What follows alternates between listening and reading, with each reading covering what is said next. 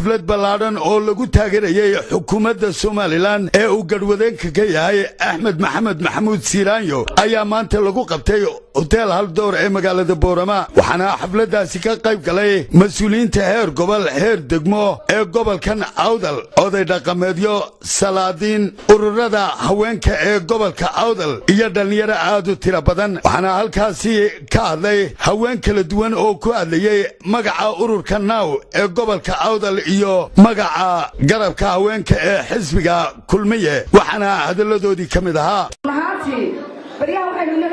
dawladaynu nuno dulqaadka iyo samirku. Waa inuu dawladda ku bartaa waa si fiican. Waan ku taageersana in loo samro xisbiyada macaarifka iska yoyoytamaya laakiin iyaga waxaan u sheegayaa inay dib isku eegaan. Cayda iyo xagaagashada way reebanta waxaa nabadgelyada hala dhowra baa leeyahay. Xisbiyada macaarifka ee caruuraha iyo dumarada ishorwada wixii aad ka tegi weydiin ee dee danigu iigu jirto. Waddanku wuxuu leeyahay madax wuxuu leeyahay salaadiin wuxuu leeyahay shicib.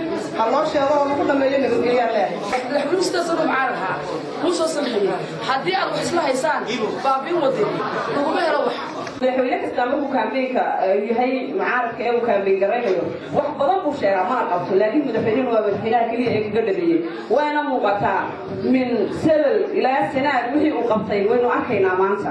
Qofka xagga ilaahay laga soo doortay ee ummadda soo dhane ay u codaysay markaad cambaar iyo dhaleecayn dusha uga tuurtaan waa miyaydaan masiirkiina berri u turanaynin? Sidoo kale waxaa iyaguna halkaas ka hadlay oday dhaqameedyo kala duwan waxaanay carabka ku dhufteen inay isberber taagayaan xukuumadda somalilan oo abay yidhaahdeen xukuumaddii waxqabadka iyo horumarka somalilan waxaanay ugu baaqeen golaha wakiilada somalilan inay ka shaqeeyaan ilaalinta sharciga dalka u yaalla.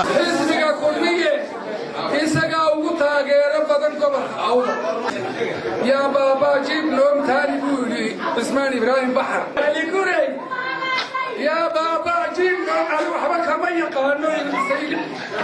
jamhuuriyadda somalilan waxaa lagu dhisay gobolkan awdal. Ayaa lagu dhisay. Ma ogolin maadaama gobolka yaga lagu dhisay. Inay jamhuuriyadda somalilan nabadda somalilan marka hadlayna nabadda somalilan waa nabadda somalilan nin walba waa u ban waxaan leeyahay xisbiyada mucaaridku dadka ay kicinayaan ee ay kicinayaan ee ay waxaan jirin u sheegayaan ha ka daayaan. Bulshada ay kicinayaan ee ay leeyihiin doorashadii baa dib loo dhigay. Innagaan layna doonayn bulshada waxaa lagu kicinaya bulshada ha laga daayo sidoo kale waxaa iyaguna halkaas ka hadlay dhallinyaro kala duwan oo carabka ku dhuftay in loo baahan yahay in nabadgelyada laga wada shaqeeyo haddaad doonaysaan dantiinna horumarkiinna xisbiga kulmiya wuxuu idiin qabtay idiinma qabanin dawladdii hore ina rayaale iyo tiicigaal midna idiinma qabanin. Lagu doorani maayo cayta. Lagu doorani maayo anaa reer hebela. Waad arkayseenoo burco ceeri gaabo saaxil wixii ka dhacay waad arkayseen iisoo gurmada tolkayoo maraysa xaalku dalka inkiisa kale ninkii tegay u tegey war waxaan leeyahay ninka macaarada ha caayin qof khaasatan qaar baa meelaha ka yidhaahda si ninka caliguri oo kale ee mujaahidka sheegta. Haddii uu mujaahid yahay dad buu laayo halka dembiilo u haysta annagu dembiila u haysanaa dembiilo dad laayay baa u haysanaa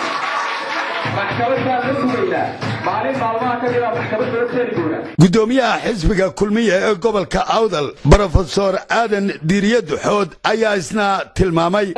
Marka uu taagan yahay wuxuu ku hadaaqayay yaa habarmagaado ay kuwa sidaa lahaa miyaan ku aamini karnaa qaran aan maxaanku idhahday siduu doono iyo sidii sharcigu odhanayo uu dalka ku xakumo miyaynaan dad caynkaas ahayn waan ka xumahay waddani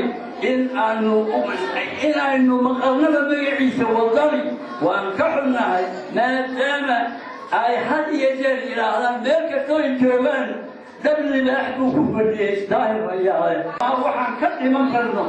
Maanta wixii ka dambeeyana waddani maareeya ku-xigeenka tv-ga qaranka somalilan qaasin xasan mataan ayaa isaguna faahfaahin ka bixiyey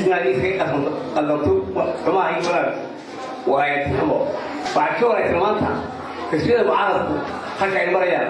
Waxay marayaan waa dhiigii loquba dhiigii loquba ay marayaan. Min dhiiggiisa iyo weydiisana dhiiggii weydiisana xagay leh kuwa la doonayay inay ka marakacaan gudoomiye ku-xigeenka gobolka awdal ahna kusimaha gudoomiyaha gobolka awdal cabdiraxmaan nuur sugaal iyo maayirka degmada boorama saleebaan xasan xadii ayaa iyaguna waxay sheegeen. Hawsha aynu isugu nimi waxa weeye sida aynu u sixi lahayn khaladaadkii dhacay ee fikirkeenna u muujin lahaynu weeye. Maanta kulmiya mas'uuliyad buu hayaa.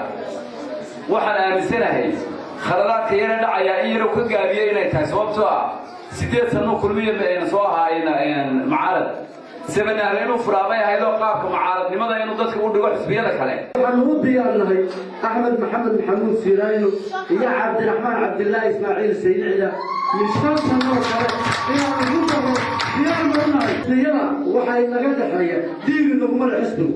Xisbigu diigi naguma le gudoomiyaha baarlamanku siduu u hadlay dhiigga ii daadiye in laguma dhiig cod buu nagu leeyahay dhalinyarta waxaan sheegayaa xisbigu cod buu kugu leeyahay dhiig kuguma